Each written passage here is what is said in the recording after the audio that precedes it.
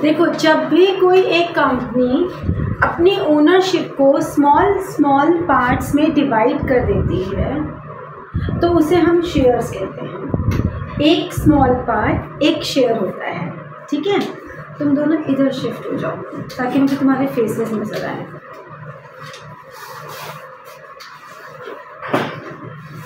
तो शेयर्स हमारे पास, एक होते हैं इक्विटी शेयर्स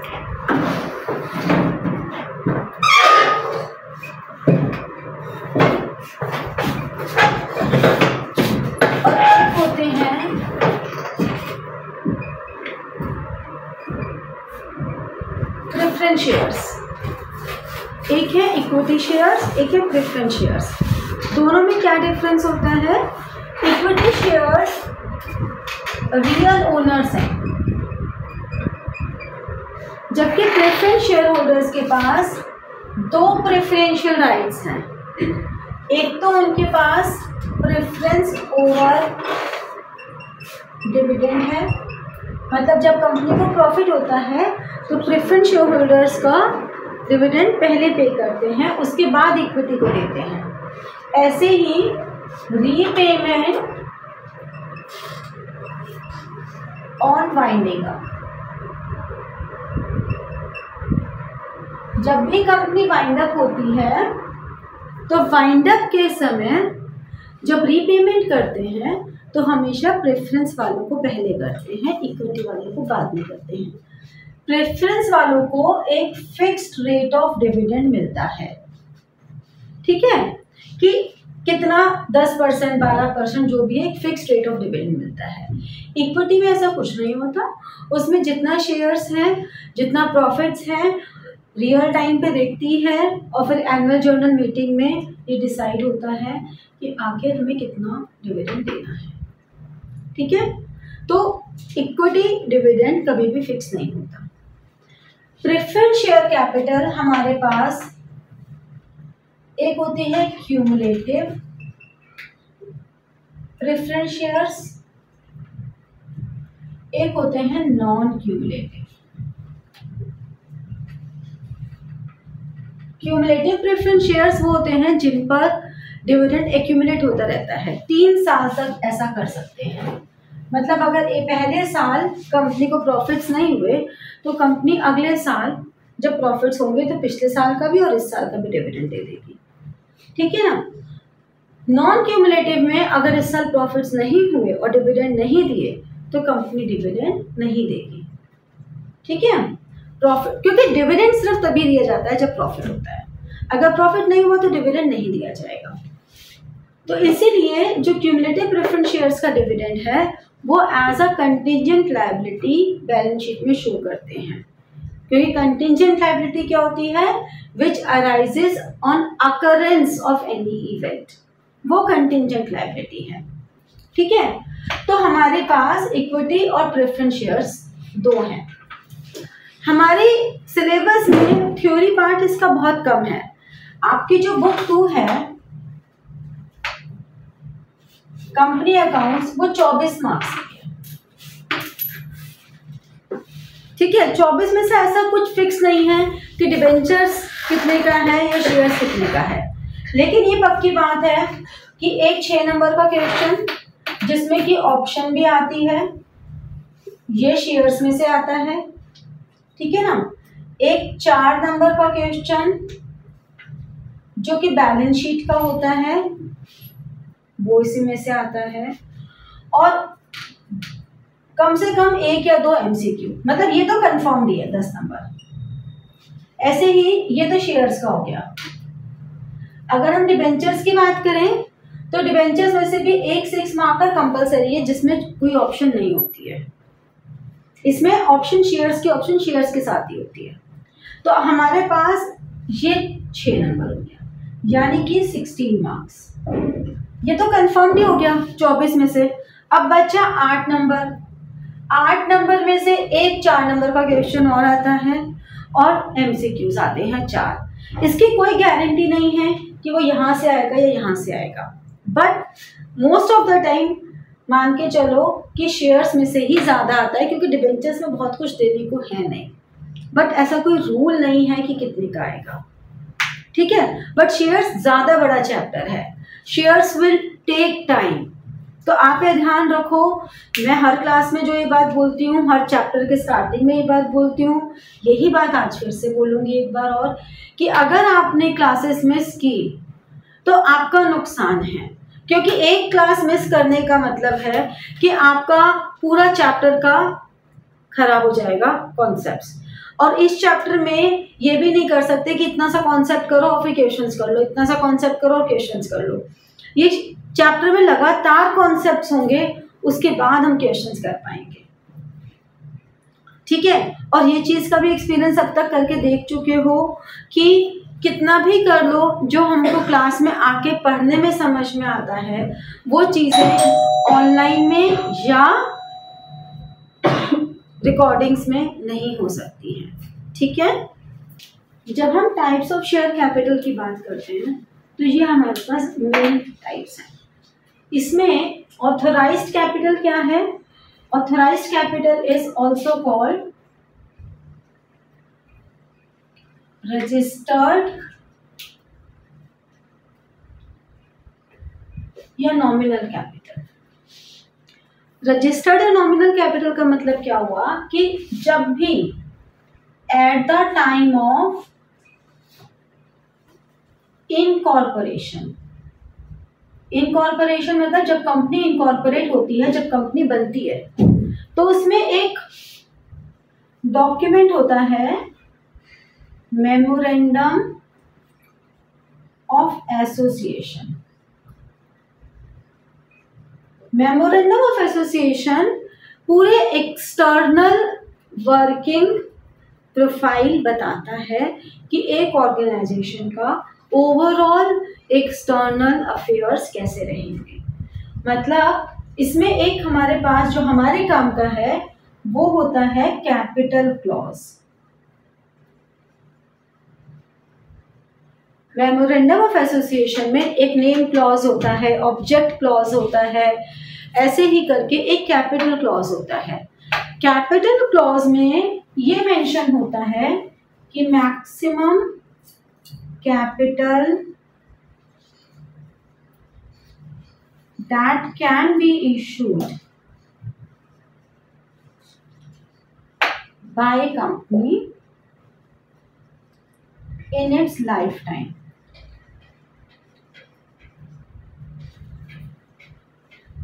कि पूरी लाइफ में, जो उसकी कंपनी का पूरा लाइफ स्पैन होगा, उस पूरे लाइफ स्पैन में कंपनी टोटल कितनी कैपिटल रेज कर सकती है? वो मेंशन होता है। ऐसा नहीं है कि कभी ऑल्टर नहीं कर सकते। हो सकता है आज मेरी सोच वहाँ तक जाए ना, मेरी कंपनी बहुत जल्दी ग्रो कर जाए, फिर मुझे लगे, ओहो, ये तो मैंने कम कैपिटल कर दी। तो हम उसको ऑल्टर भी कर सकते हैं। जितने भी क्लॉजेज सब ऑल्टर हो सकते हैं। अब मान लो हमें कहते हैं कि कंपनी ने ten lakh shares equity shares बताना पड़ता है कि इक्विटी या preference equity shares at the rate of ten per share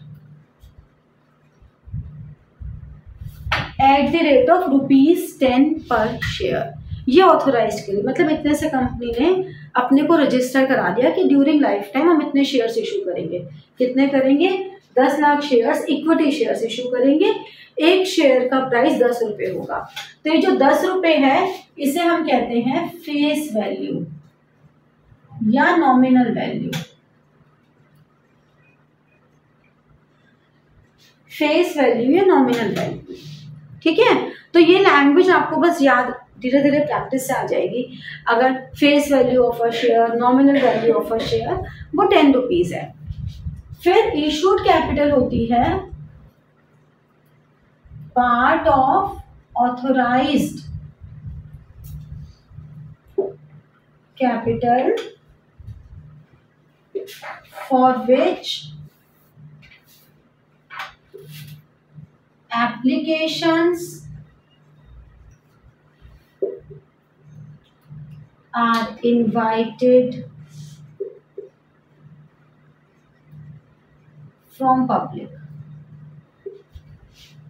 ज़रूर थोड़ा है कि सारे के सारे पैसे कंपनी एक साथ मंगा लेगी। हो सकता है कंपनी को भी सारे की ज़रूरत ही नहीं हो। कंपनी ने सिर्फ़ इसमें से ten thousand shares at the rate of rupees ten each इतने ही पब्लिक से मंगाए। इसके आगे की मंगाए ही नहीं। इट्स ओके ये इशूड कैपिटल हो गई। तो ये ऑथराइज कैपिटल का पार्ट हुई, लेकिन इतने ही शेयर्स उन्होंने मंगाए हैं। प्रोस्पेक्टस इशू करती है कंपनी और कंपनी जब प्रोस्पेक्टस इशू करती है तो उसके थ्रू ही शेयर्स की एप्लीकेशंस आती हैं। ठीक है? प्रोस्पेक्टस इशू करने का मतलब ये है कि कंपनी उसने शेयर्स के लिए एप्लीकेशंस मंगवा दी है। ठीक है? Subscribe applications. Here number of shares.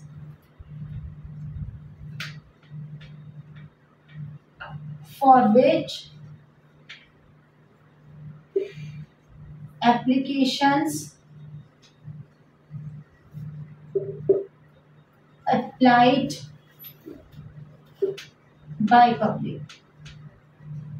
अब हो सकता है हमने तो दस हज़ार शेयर्स के लिए एप्लीकेशन मंगाई है। पब्लिक दस हज़ार शेयर्स के एप्लीकेशन के बदले में दस हज़ार ही शेयर्स अप्लाई करती है, ज़्यादा करती है। यानी कि for which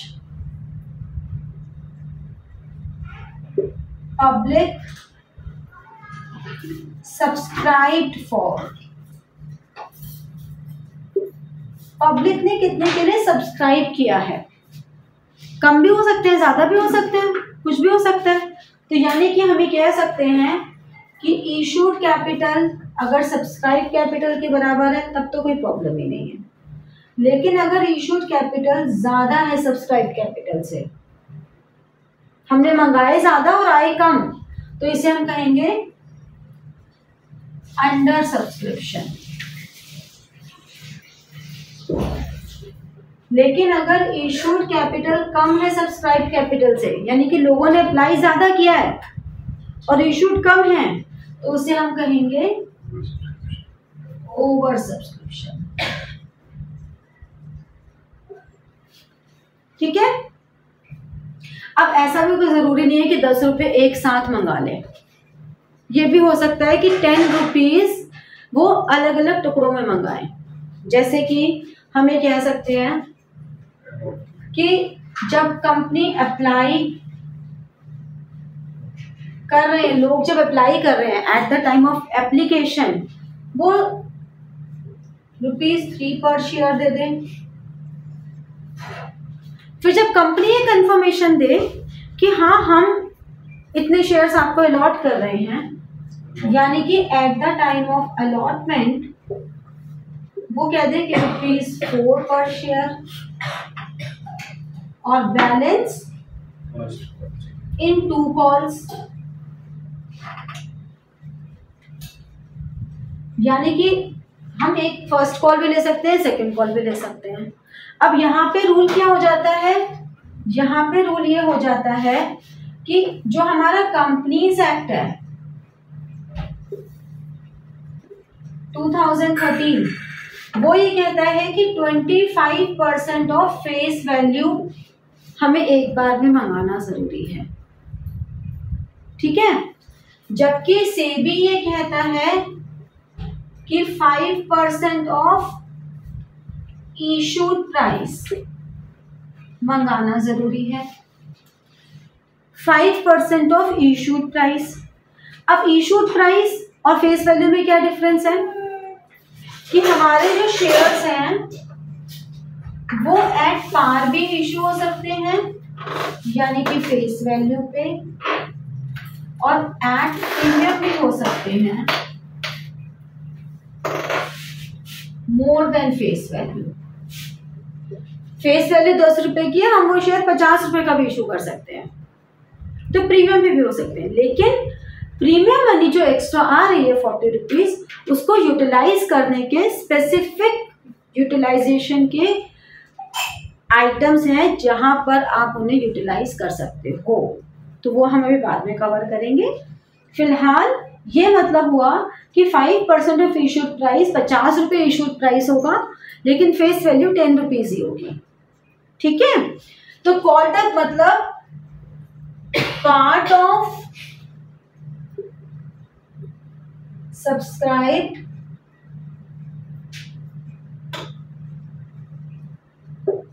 which is called up from public.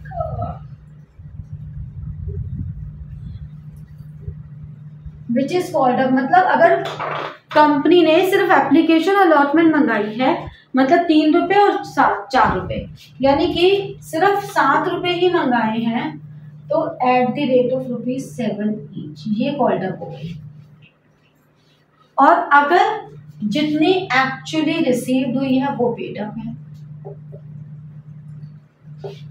मान लो कोई मिस्टर ए है, उसके पास हंड्रेड शेयर्स हैं, और उन्होंने अलॉटमेंट नहीं P did not pay allotment उन्होंने अलॉटमेंट मनी पे नहीं की। तो पेड अप कितनी होगी? सत्तर हज़ार में से hundred into four four hundred. Sixty nine six hundred. तो पेड अप जितनी एक्चुअली में रिसीव हुई है और कॉल्ड अप जितनी कॉल की है तो ये हमारे पास अलग अलग टाइप ऑफ़ शेयर कैपिटल है। ठीक है? समझे? इसको एक बार नोट डाउन कर लो, फिर से समझ लो कहीं कोई दिक्कत आती है तो पहले इतना पोर्शन क्लियर होना बहुत ज़रूरी है, क्योंकि ये पोर्शन अगर क्लियर नहीं होगा तो आगे न्यूमेरिकल्स में दिक्कत आ सकती है। तो पहले ये पोर्शन क्लियर होना ज़रूरी है तो ये सारा का सारा नोट डाउन कर लो, फिर हम आगे बढ़ेंगे। और कोई दिक्कत आए तो बता दो।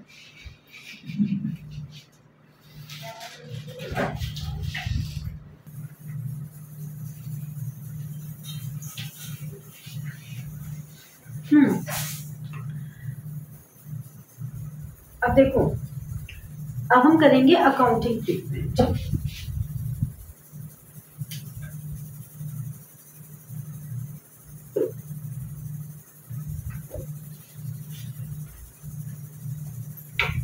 इस अकाउंटिंग ट्रीटमेंट में हमने एक एग्जांपल एज्यूम किया कि दस हज़ार शेयर्स हैं, दस रुपए का एक शेयर है। हम एप्लीकेशन के समय मंगा रहे हैं थ्री रुपीज़ अलॉटमेंट के समय four first call two and second and final call rupees one each ठीक है? ये हम मंगा रहे हैं। राइट अब प्रोसेस क्या होता है? सबसे पहले एप्लीकेशन आती है। जब प्रोस्पेक्टस इश्यू होता है तो सबसे पहले एप्लीकेशन आती है। तो हमारी फ़र्स्ट एंट्री क्या होती है? Bank account debited to equity share application account इस तरह से आप पूरा लिखते हो। पूरे ten thousand into three thirty thousand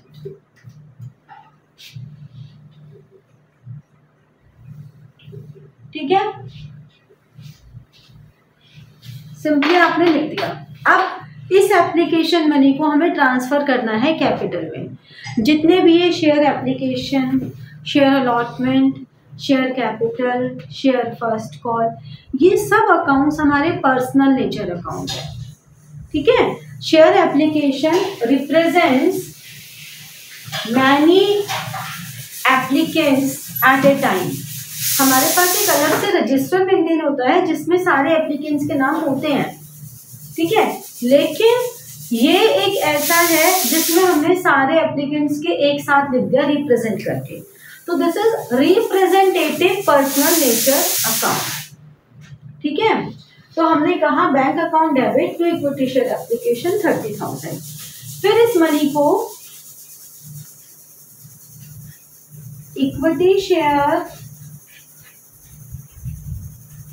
application account debit जितने से हमने यहाँ क्रेडिट किया, उतने से ही डेबिट कर दिया. To equity share capital account ठीक है? इक्विटी शेयर एप्लीकेशन को हमने कैपिटल में ट्रांसफ़र कर दिया। अब अब कंपनी की बारी है। अभी तो लोगों ने अप्लाई किया। अब कंपनी की बारी है। कंपनी ने कंफर्मेशन दी कि हम शेयर्स अलॉट कर रहे हैं। अब कंपनी को पता है कि हमें कितने पैसे मंगाने हैं। तो इक्विटी शेयर अलॉटमेंट अकाउंट अगर यहाँ पे प्रेफरेंस होता तो हम प्रेफरेंस लिख देते। अगर क्वेश्चन में लिखा होता कि हमने प्रेफरेंस शेयर्स के लिए अकाउंटिंग कर रहे हैं तो बस इक्विटी की जगह प्रेफरेंस आता। अगर कुछ भी नहीं लिखा इक्विटी प्रेफरेंस तो हम कुछ नहीं लिखेंगे simple share capital share allotment ऐसे लिख देंगे। ज़्यादा सारा का सारा अल्टीमेटली कैपिटल में ही है। देखो, जो एप्लीकेशन मनी थी वो भी कैपिटल में गई। फिर अलॉटमेंट हम ड्यू करेंगे फोर्टी थाउज़ेंड रुपीज़ की, वो भी कैपिटल में गई। तो ये एंट्री हमने क्यों की थी? ये हमने की फॉर रिसीविंग एप्लीकेशन मनी फिर ये एंट्री हमने की फॉर ट्रांसफरिंग एप्लीकेशन मनी फिर हमने किया for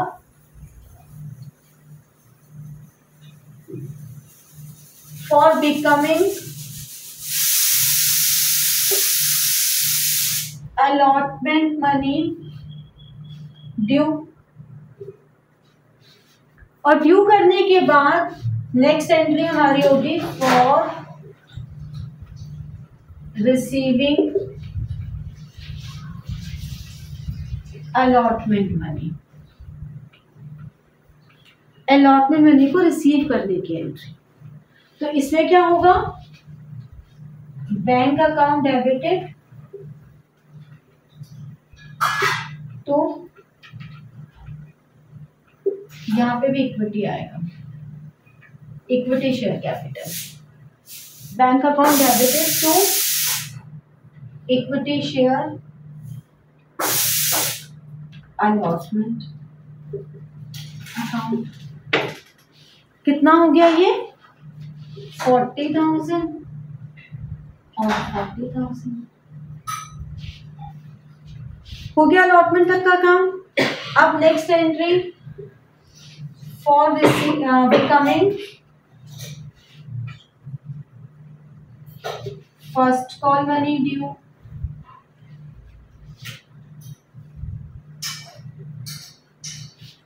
First call money due करने की एंट्री क्या होगी? Due equity share first call money first call account debit to equity share equity share first call account debited to equity share capital कितने rupees की? Two rupees की थी। Twenty thousand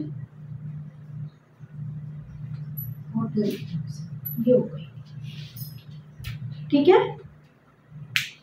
समझ में आया? अब ऐसे ही आगे करेंगे ये नोट डाउन कर लो फिर आगे की भी करवा देती हूँ कि फ़र्स्ट कॉल मनी को रिसीव करना सेकेंड कॉल जो भी लास्ट कॉल होती है उसके आगे फाइनल वर्ड लिखना ज़रूरी है। अगर हम फ़र्स्ट कॉल ही लास्ट कॉल कर रहे हैं मतलब सेकेंड कॉल कर ही नहीं रहे सिर्फ़ एक ही कॉल तो फ़र्स्ट एंड फाइनल कॉल ठीक है? तो जो भी लास्ट कॉल है उसको हमें फाइनल वर्ड लिखना ज़रूरी है। गॉट इट चलो। फोर्थ वाली ऐसे आएगी बेटा। अलॉटमेंट मैंने ड्यू कर दी। Share allotment to share capital फिर अब ये पैसा रिसीव भी तो करेंगे। तो देखो अलॉटमेंट को यहाँ डेबिट किया था यहाँ क्रेडिट कर दिया। अब बैंक में पैसा आ रहा है तो डेबिट वर्ड कम्स इन तो bank to equity share allotment fifth में फिर हमने मनी ड्यू की। जैसे अलॉटमेंट मनी ड्यू की थी वैसे फ़र्स्ट कॉल मनी ड्यू की। Equity share first call account debit कितने से होगा? दस हज़ार शेयर पे दो रुपए के हिसाब से। टू इक्विटी शेयर कैपिटल सब कुछ कैपिटल में ही जाएगा। देखो यहाँ एप्लीकेशन गई कैपिटल में। अलॉटमेंट गई कैपिटल में। फ़र्स्ट कॉल गई कैपिटल में। जाएगा सब घूम फिर के कैपिटल में कैपिटल ही तो रेस कर रहे हैं ना हम अल्टीमेटली बस से बैंक फिर बैंक जाएगा।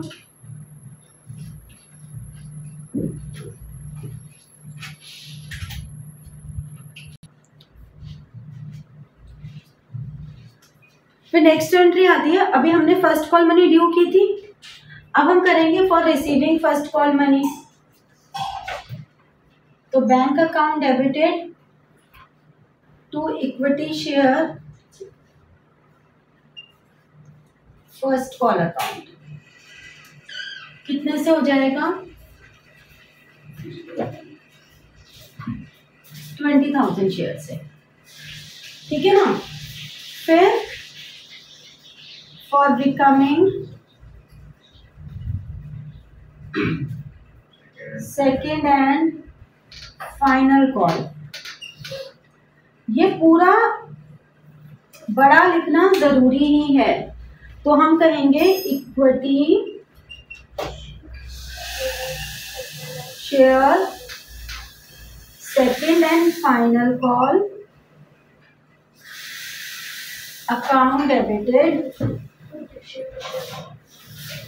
to equity share capital ये पूरे दस हज़ार से आ एक रुपए की फाइनल कॉल थी ना तो ये पूरे दस हज़ार से आ गया। अब रिसीव करेंगे for receiving money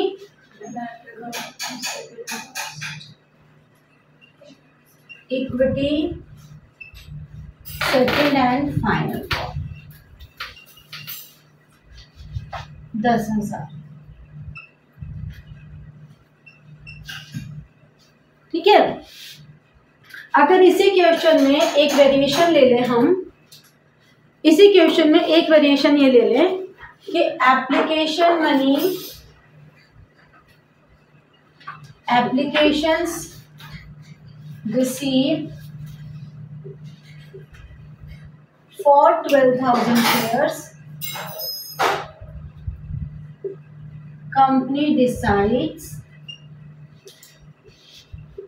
to refund excess applications. Company ने ये सोचा कि हम एक्स्ट्रा एप्लीकेशंस रिफंड कर देंगे, वापस कर देंगे। तो क्या चेंजेस आएँगे? जो तुम्हारी पहली एंट्री है बैंक अकाउंट डेबिटेड ये मैं शॉर्ट फॉर्म अभी लिख रही हूँ, लेकिन बिल्कुल ध्यान रखना।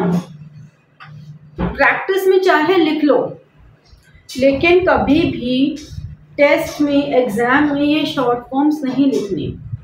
इस बात का हमेशा ध्यान रहे। प्रैक्टिस में भी चाहे मत लिखो, और भी अच्छा रहेगा, लिखने की स्पीड बढ़ेगी। बट चलो, जब सौ क्वेश्चंस करने होते हैं तो ऐसा हो जाता है कि हाँ लिखी जाती हैं।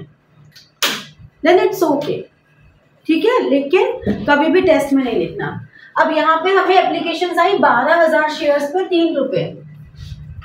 थर्टी सिक्स थाउज़ेंड जो सेकेंड एंट्री होगी, वो equity share application debited to equity share capital और to bank equity share capital में उतना अमाउंट आएगा जितना कि रिक्वायर्ड है। जबकि इसमें वो अमाउंट आएगा कि जितना हमने रिफंड कर दिया। यानी कि यहाँ तो पूरा थर्टी सिक्स आया। जितने से कैपिटल हमने क्रेडिट किए उतना ही आया। इक्विटी शेयर कैपिटल में कितना आया? जितना रिक्वायर्ड था। रिक्वायर्ड कितना है? दस हज़ार शेयर्स पे। तो दस हज़ार शेयर्स इंटू थ्री ठीक है? ऐसा है ना, दिमाग को इस चीज़ में लगा लो कि जैसे मैं मुड़ू, वैसे हम लिखें। या दिमाग को इस चीज़ में लगा लो कि पहले समझ लो, फिर लिखें। इस चीज़ को मैं बार बार तो क्या ही समझाऊँगी? ऑल द टाइम दिमाग इसमें चल रहा है, जैसे मैं मुड़ू, फट से हाथ चले। तो दिमाग तो इसमें कि कब मैं इधर घूम रही हूँ और कब मैं इधर घूम रही हूँ। इस चीज़ को समझाते हुए आधा साल तो निकल चुका है। फिर भी समझ में नहीं आ रही है। हो है, हो नहीं इस लायक। कि हाँ हम दो चीज़ एक साथ कंटिन्यू कर सकें। तो भाई करते रहो। डरने की क्या बात है? खुल के लिखो। जब बाकी सब लिख रहे होंगे, तब खाली बैठे रहना। तब ज़्यादा अच्छा रहेगा खाली बैठ के सबकी शक्ल देखना। लिख लो। मुझे ऐसा नहीं है कि बहुत टाइम से मुझे पता चलता है, बस मैं इग्नोर करती हूँ ना, कि ना बोलो ना बोलो। एक पॉइंट पे आके ना आदत मेरी भी खराब है। मैं बोली जाती हूँ। रिफंड कितना हो रहा है? बारह हज़ार में से दस हज़ार तो हमें चाहिए थी। छह हज़ार। ठीक है? तो टोटल थर्टी सिक्स में से जितनी रिक्वायर्ड है वो कैपिटल में डाल दी और जितनी रिफंड कर रहे हैं वो बैंक के थ्रू तो वापस सकते हाँ। लेकिन माइनस करके निकालने से अच्छा है आप कैलकुलेट करो। बाई चांस अभी तो स्टार्टिंग है। आगे चल के और भी चीज़ें ऐड ऑन होती रहेंगी। तो आपको अपनी मिस्टेक पता लग जाती है। इसलिए हमेशा कैलकुलेट करो। और ये जो फिगर्स हैं, ये पेंसिल से लिख सकते हो। दिस इज़ अलाउड ठीक है? आपको कन्वीनियंट रहेगा अगर आप इसे पेंसिल से लिख लोगे तो। इरेज नहीं भी कर पाए तो भी चलने दो, कोई ऐसी बात नहीं है। ठीक है? तो इस तरह से अगर हमारा, अब आगे का क्वेश्चन अलॉटमेंट ड्यू करना अलॉटमेंट रिसीव करना फ़र्स्ट कॉल ड्यू करना रिसीव करना सेकंड कॉल ड्यू करना रिसीव करना एज इट इज़ चलेगा। ये बारह हज़ार शेयर्स का यहीं पे काम खत्म हो गया क्योंकि। टू थाउज़ेंड बेटा इसलिए क्योंकि बारह हज़ार शेयर्स के लिए एप्लीकेशन मंगाई थी ना।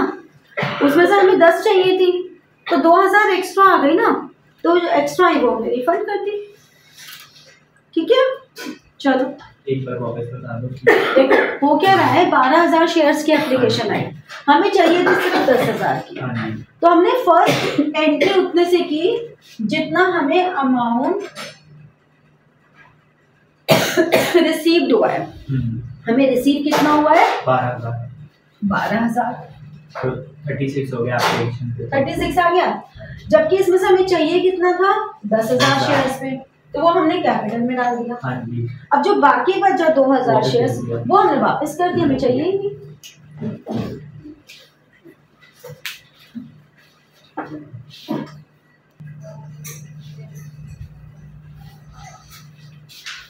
अब देखो एक क्वेश्चन ये है कि ट्वेंटी थाउज़ेंड शेयर्स के लिए एप्लीकेशन मंगाई। एक शेयर दस रुपए की फेस वैल्यू है। लेकिन उस पर ट्वेंटी फाइव रुपीज़ का प्रीमियम है। ठीक है? एप्लीकेशन पे फाइव रुपीज़ मंगाए इंक्लूडिंग थ्री रुपीज़ प्रीमियम यानी कि तीन रुपए का प्रीमियम है। तो एप्लीकेशन पे हुआ टू प्लस थ्री दो रुपए फेस वैल्यू का पोर्शन हो गया थ्री रुपीज़ का प्रीमियम हो गया। अलॉटमेंट बीस रुपए की है इंक्लूडिंग फिफ्टीन रुपीज़ प्रीमियम इसका मतलब फाइव रुपीज़ फेस वैल्यू का शेयर और पंद्रह रुपए प्रीमियम हो गया। कॉल मनी पे लिखा है बैलेंस बैलेंस का मतलब क्या हुआ? कि दस रुपए में से दो रुपए और पाँच रुपए, सात रुपए तो यहाँ मंगा लिए। बचे कितने? तीन रुपए। फेस वैल्यू के तीन रुपए बचे ना? दस रुपए में से दो रुपए एप्लीकेशन के और तीन रुपए पाँच रुपए अलॉटमेंट में मंगाए तो तीन रुपए यहाँ बचे। प्रीमियम मनी का अगर देखें तो पच्चीस का प्रीमियम था, तीन यहाँ मंगाए, पंद्रह यहाँ मंगाए, अठारह रुपए मंगा लिए। तो ये आ गया। ठीक है? अब देखो, तुम्हारा दस रुपए की फेस वैल्यू थी। इस पाँच में से तीन रुपए प्रीमियम थे तो यानी कि दो रुपए फेस वैल्यू हो गई, तीन रुपए प्रीमियम अलॉटमेंट बीस रुपए की थी, पंद्रह प्रीमियम था। मतलब फाइव रुपीज़ की फेस वैल्यू हो गई पंद्रह का। अब बैलेंस कितना बचा? दस में से दो यहाँ गए पाँच यहाँ गए सात गए बचा तीन। पच्चीस में से तीन यहाँ गए पंद्रह यहाँ गए बचा कितना? सात। पच्चीस रुपए का प्रीमियम था ना तो अठारह रुपए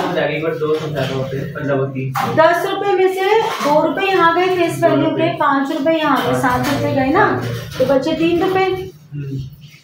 तो दस में से सात पे तीन और फिर वहाँ पे जो पंद्रह? ये जो तीन है ये है ten minus seven minus seven वो समझ आ गया। और ये है ट्वेंटी फाइव माइनस ठीक है। ये डिवीज़न समझ में आ गया? अब जब भी प्रीमियम की एंट्री होती है तो ये मान के चलो कि सिक्योरिटी प्रीमियम शेयर कैपिटल के साथ साथ ही चलता है। Securities premium account always shown with capital account ये ध्यान रखो। अब हमने फ़र्स्ट एंट्री की bank account debit to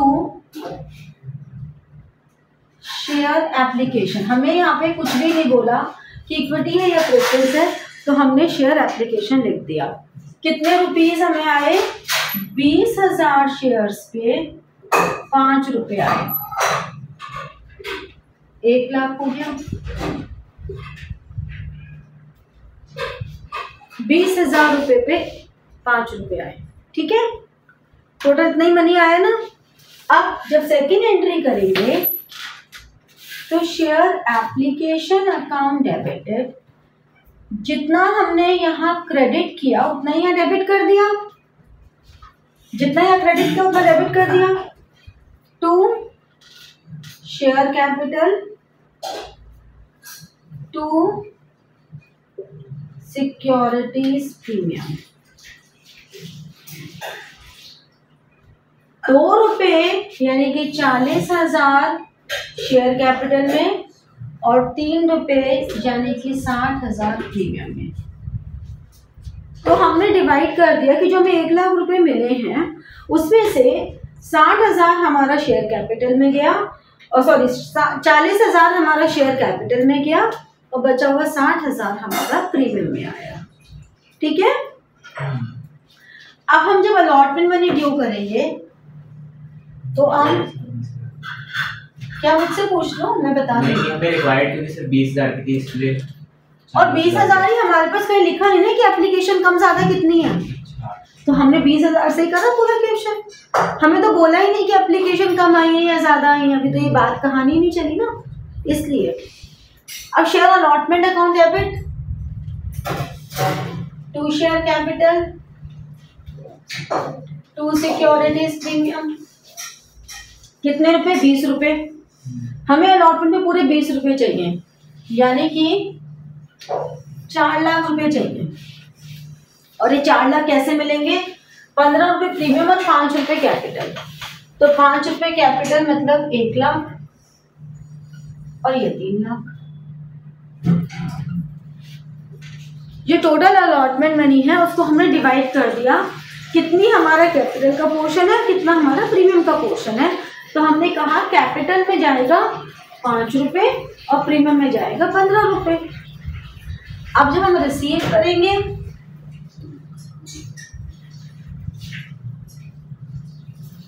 तो शेयर अलॉटमेंट पूरे पैसे आ गए, चार लाख।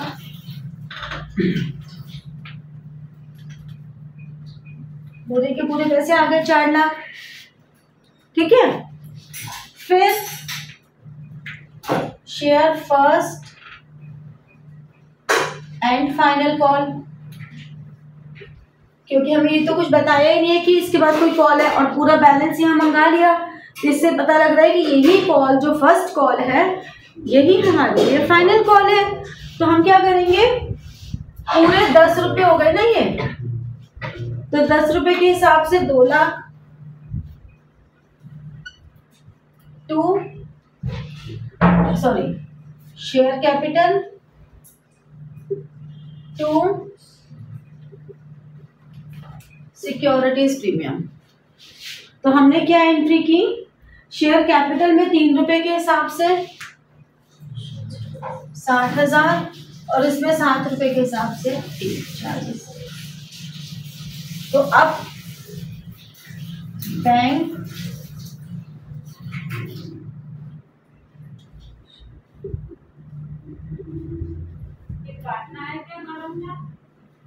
फाइनल कॉल ये आ गया दो लाख। तो bank account debit to share first and final call हमने यहाँ पे ड्यू किया और यहाँ पे रिसीव किया है ना? तो जितना ड्यू था, उतना हमें यहाँ रिसीव हो गया। अभी यहाँ पे ऐसी कोई बात नहीं चली है कि किसी ने पे नहीं किया एप्लीकेशन कम आई ज़्यादा आई अभी जो तुम्हारे समझने वाली है, वो ये चीज़ है कि प्रीमियम मनी हमेशा कैपिटल के साथ ही आएगी। जब हमने यहाँ पे किया तो कैपिटल और प्रीमियम एक साथ आए। जब हमने यहाँ किया तो कैपिटल और प्रीमियम एक साथ आए। जब हमने यहाँ किया तो कैपिटल एंड प्रीमियम एक साथ आए। मतलब कैपिटल और प्रीमियम हमेशा ही एक साथ आएँगे। और ये भी कोई ज़रूरी नहीं है कि प्रीमियम मनी हमेशा सबके साथ ही हो। हो सकता है प्रीमियम मनी सिर्फ़ अलॉटमेंट के साथ ही हो। हो सकता है प्रीमियम मनी सिर्फ़ एप्लीकेशन के साथ ही हो कॉल के साथ ही हो। तो आपको क्वेश्चन में मेंशन होता है कि प्रीमियम मनी किसके साथ है। ऐसा कभी नहीं होगा, ऐसे कोई कंफ्यूजन कभी क्रिएट नहीं की जाएगी कि प्रीमियम मनी किस, किसके साथ है। ये कंफ्यूजन कभी क्रिएट नहीं की जाएगी आप लोगों को। ठीक है? थैंक यू और good luck to all of you share subscribe the channel and press the notification button पर नोटिफिकेशन बटन को प्रेस करना क्यों ज़रूरी होता है? इसलिए ज़रूरी होता है क्योंकि फिर मैं जो आगे वीडियोस डालूँगी तो आपके पास नोटिफिकेशन आ जाएगा। ठीक है ना? और सब्सक्राइब करना भी इसीलिए ज़रूरी होता है कि सब्सक्राइब करोगे तभी तो मुझे भी तो मोटिवेशन चाहिए ना कि भाई मेरे सब्सक्राइबर्स बढ़ रहे हैं। सेंस ऑफ़ अकम्पलिशमेंट तो मुझे भी चाहिए ना कि मेरे सब्सक्राइबर्स बढ़ रहे हैं। तो अगर तुम वीडियो देखोगे लाइक नहीं करोगे कमेंट नहीं करोगे तो मेरे को मोटिवेशन कैसे मिलेगा? और मुझे नहीं मिलेगा तो मैं तुम्हें कैसे दूँगी? है ना? तो इसलिए कमेंट भी करो लाइक भी करो सब्सक्राइब भी करो शेयर भी करो, ठीक है? और नोटिफिकेशन वाला बेल बटन भी प्रेस करो। Thank you